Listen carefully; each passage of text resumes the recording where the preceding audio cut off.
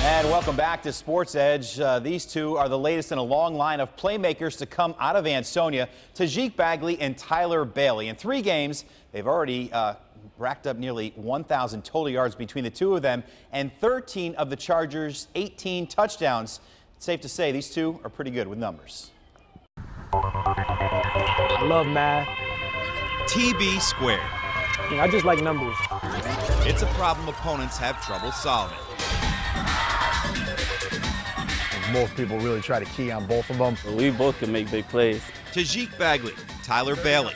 If they were an equation, the answer would always be six.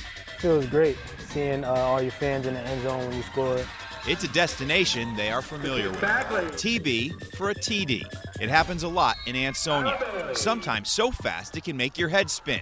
Even their own coach has trouble keeping up. Yeah, they wear four, they wear five, they look like they're the same size, they're within half an inch of each other, they're within two or three pounds of each other. More similar than different. Yeah, I play aggressive, especially when the ball's in my hand.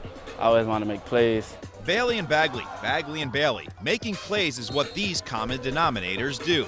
They can both run by you, and if you do get in their way, this will work too. I think we're both running you over. You better like be ready because I'm probably going straight. I'm gonna try to go straight through you. Now seniors and college recruits, four and five, are the latest in a long line of dominant Ansonia playmakers. Both kids started two years ago on our team that were number one in the state as sophomores, and they've gotten better and better every year, and I think now they're even at another level. It's a tradition. Uh, we get prepared to be great players. We just try to motivate each other, saying like, "Oh, I'm gonna have the better game, so let's see what you can do." And usually, the answer can be found here.